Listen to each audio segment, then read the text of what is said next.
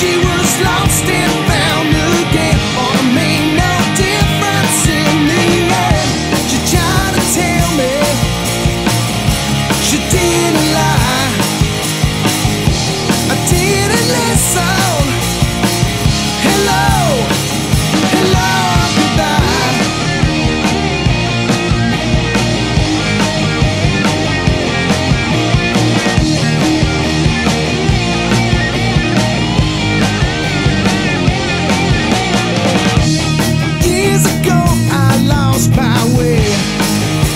just can't drive.